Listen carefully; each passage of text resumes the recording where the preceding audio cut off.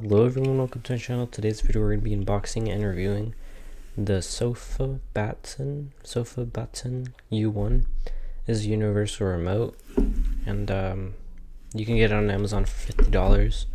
I have it here and we're going to go ahead and show you guys what this controller is all about. The, con the company contacted me a few days ago and I was curious about this controller or remote um, I do need a universal remote for the living room because we have too many devices that are linked up. This will save you tons of power. It will make it lots very compact for everything. Like you don't have to change out batteries for several remotes. You don't have to keep grabbing a different remote and just using that one and whatnot. But this one is probably one of the best universal remotes out there. It's competing against the LG or no the um the Harmony universal remote by Logitech. So here's the manual and then you have a happy not happy. Here's the remote itself. It has an OLED screen on the top, a little scroll wheel. You have a power button, and then some other buttons here. You have volume up, down. You have uh, changing channel, okay. A little D-pad. You have mute button, pause, play, stop. You have two fast forward buttons and rewind. And then you have some other buttons right here. I don't know what these do. Most likely for Xbox or something, I don't know. It does come with two double A's, which is really cool there is an app for this, so you can go ahead and set it up. yeah, there's nothing else. There is an app for this, so you can go ahead and set it up. It's really cool. So it is, yeah, the Bluetooth remote. Let's go ahead and open this. I don't know how to open it. I'm gonna go ahead and open this real quick. All right, and then you just grab the batteries.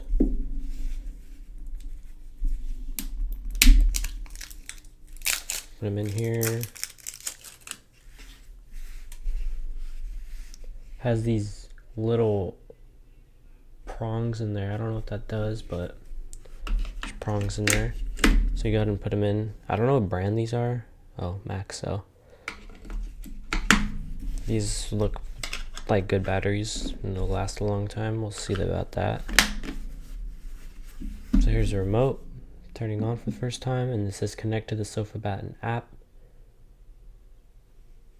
So we're gonna go ahead and set it up and we're gonna test it out. It has a weird little reflection thing. but That's only on uh, the camera.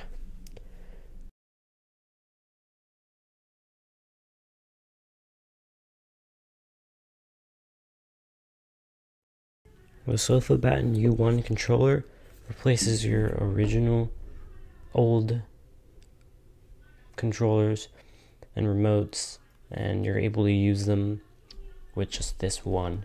I have already two devices set up, cable t cable and Apple TV, and you can use it with the scroll wheel. It has a weird effect, but that's because of my light.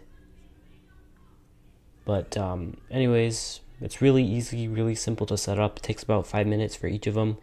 Um, the Apple TV was actually a little bit easier because it's only four remote or five remote keys, just left, right, up, down, okay, back, and then pause and play. So it's a little bit of work, but anyways, it's really simple, really easy.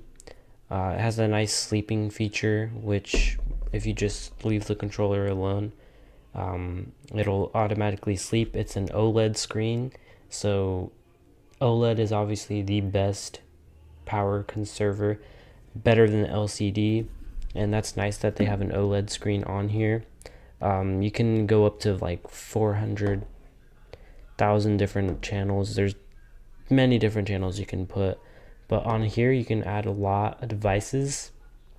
I think up to four or five, um, which is really cool. I'm going to be filling up this whole entire remote has a nice Bluetooth database. You can go ahead and search up in their databases, just look them up. You can just easily put the model and serial number in the app, and then it will automatically configure all the buttons if you have a ton of buttons, which I didn't want to do because I don't remember the model number for the remote. Uh, I don't know if it's the model number for the remote in the original one. You just like look in the remote and then just find the model number behind the batteries. Uh, but you basically do that. I'm gonna go ahead and test out if you're able to do an Xbox One controller on this remote because then I could just use the buttons on the bottom. That's probably what they're gonna be for, and I can just use it for like um, Netflix or something. I don't have to use my Xbox One controller, have it plugged in all the time. I could just pick it up. That's it. I'm gonna go ahead and test that out right now.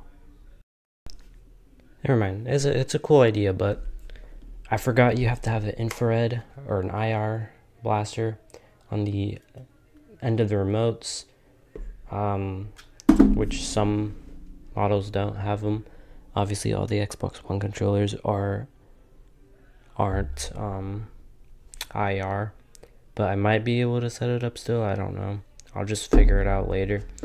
But um, it has nice grip, so you can like, if you have big fingers. I don't have I have pretty small fingers, but you can go and rest your fingers right here. Uh, I wish they would have added some grip around here, but uh, it's pretty good. It's lightweight.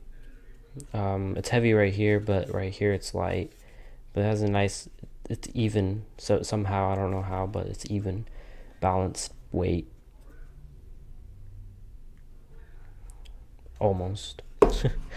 uh, but it's really cool. I really like this remote a lot.